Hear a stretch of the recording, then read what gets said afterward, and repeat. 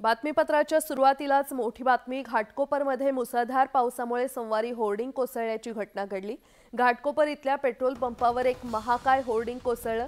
यामध्ये जवळपास शंभर जण या होर्डिंगखाली दबले गेले. या दुर्घटनेमध्ये चौदा जणांचा मृत्यू झाला असून सत्तरपेक्षा जास्त जण जखमी झालेत. मुख्यमंत्री एकनाथ शिंदे यांनी दुर्घटनास्थळाला भेट देऊन मदत आणि बचाव कार्याचा आढावा घेतला.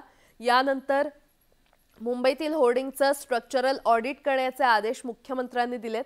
या दुर्घटनेमध्ये मृत्युमुखी पडलेल्या मृतांच्या नातेवाईकांना पाच लाख रुपयांची मदत मुख्यमंत्र्यांनी जाहीर केली आहे. तसंच हे होर्डिंग लावणाऱ्यांवर सदोष मनुष्यवधाचा गुन्हा दाखल करणार असल्याची माहिती देखील मुख्यमंत्र्यांनी दिली आहे. उपमुख्यमंत्री फडणवीसांनी देखील घटनास्थळाला भेट देऊन मदत आणि बचाव कार्याचा आढावा घेतला. यामधील दोषींना सोडणार नसल्याचं फडणवीसांनी स्पष्ट केलं. तर ही दृश्य आपण पाहतोय. घाटकोपरमध्ये अतिशय मोठी दुर्घटना काल संध्याकाळच्या सुमारास घडली आणि त्यानंतर हे मृत्यूचं होर्डिंग खरं तर समोर आलं आणि मुख्यमंत्री आणि उपमुख्यमंत्र्यांनी या संपूर्ण घटनेचा बचाव कार्याचा आढावा घेतला. काल संध्याकाळच्या दरम्यान हे होर्डिंग कोसळलं होतं आणि आज सकाळची परिस्थिती आपण पाहतोय. अजूनही तिथे कार्य सुरू असल्याचं पाहायला मिळतंय. मुख्यमंत्री एकनाथ शिंदेनी देखील काल इथे भेट दिली. बचाव कार्याचा आढावा घेतला. उपमुख्यमंत्री देवेंद्र फडणवीसांनी देखील या बचाव कार्याचा आढावा घेतला. आपण दृश्यांमध्ये पाहतोय हे होर्डिंग कशा प्रकारे काल संध्याकाळच्या सुमारास कोसळलं होतं? यामध्ये त्रेचाळीस जण जखमी झालेले आहेत. त्यांच्यावर सध्या उपचार सुरू आहेत आणि या संपूर्ण दुर्घटनेत चौदा जणांचा मृत्यू झाला असल्याचं कळत आहे दरम्यान दुसरीकडची दृश्य आपण पाहतोय आज सकाळची ही परिस्थिती आहे. अजूनही इथे बचाव कार्य असेल किंवा कोणत्याही प्रकारचं कार्य मलबा हटवण्याचं काम सध्या तिथे सुरू आहे.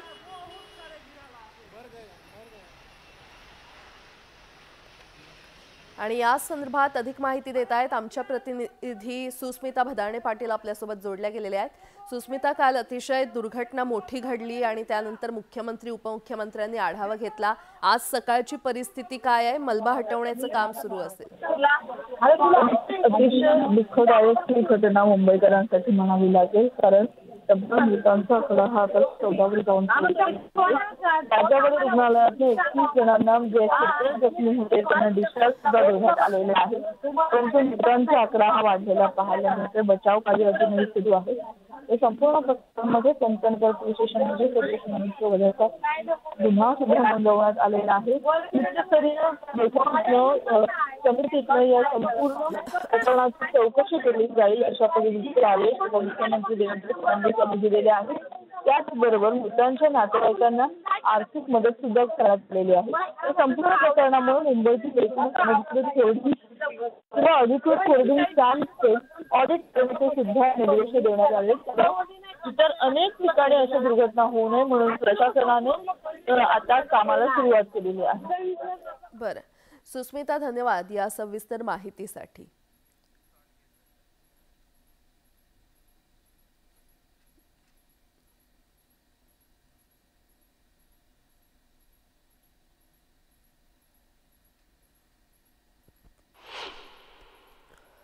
आहे.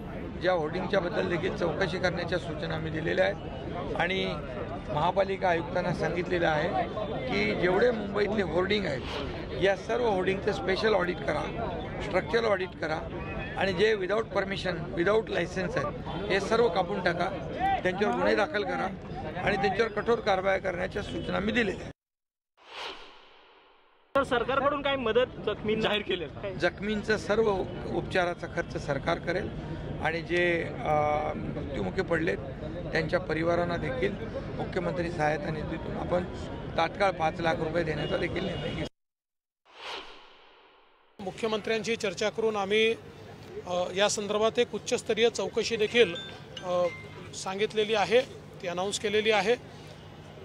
अतिशय गांभीर्याने कोणी परमिशन्स दिल्या त्या योग्य होत्या का परमिशन्स घेतल्या होत्या का एवढं मोठं होर्डिंग लावताना ज्यावेळेस अशा प्रकारची अनप्रेसिडेंटेड विंड येईल किंवा मोठ्या प्रमाणात वारा येईल त्याचा स्टडी केला होता का? अशा या सगळ्या गोष्टींचा अभ्यास आता या ठिकाणी करावा लागेल. मला अशी देखील माहिती आहे की काही नोटिसेस देखील त्याला सर्व झाल्या होत्या. मग त्याच्यावर का कारवाई झाली नाही? या सगळ्या गोष्टी आता या ठिकाणी पाहण्यात येतील. आणि या सगळ्या गोष्टीचा अभ्यास करून आवश्यकता असेल तर सदोष मनुष्यवधाचा गुन्हा देखील या संदर्भात दाखल केला जाईल. माननीय मुख्यमंत्री महोदयांनी मुंबईमध्ये जेवढे मोठे होर्डिंग्ज आहेत त्याचं इमिजिएट ऑडिट करण्याचे देखील त्या ठिकाणी आदेश दिलेले आहेत. कारण आत्ताच्या परिस्थितीमध्ये आपण पाहतोय की बेमोसमी वारे हे खूप मोठ्या प्रमाणात येत आहेत. अशा प्रकारचे वारे या दिवसांमध्ये कधी येत नव्हते. पण हे क्लायमेट चेंजमुळे आपल्याला ते वारे मोठ्या प्रमाणात पाहायला मिळत आहेत. अजूनही काही अलर्ट्स आपल्याकडे वाऱ्यांच्या संदर्भात येत आहेत.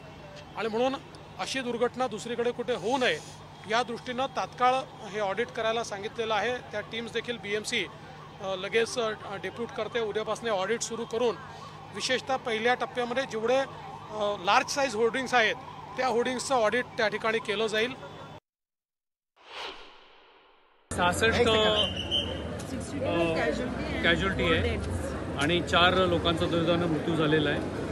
आणि साईटवरती आता जी घटना घडलेली आहे तिथं अजून चार लोकांचा मृत्यू झाल्याचं आम्हाला कळालेलं आहे. तर एकंदर आठ लोकांचा दुर्दैवानं मृत्यू झालेला आहे. अजून वीस ते तीस लोक ट्रॅप आहेत. असावेत असा अंदाज आहे संशय आहे. त्यांना त्या ठिकाणी काढायचं काम चालू आहे. आणि त्याचप्रमाणे ह्याच्यापुढं जी काय ॲक्शन घेण्यात येणार आहे ते माननीय मुख्यमंत्र्यांनी ऑलरेडी त्याच्याबद्दल जाहीर केलेलं आहे सूचना दिलेली आहे.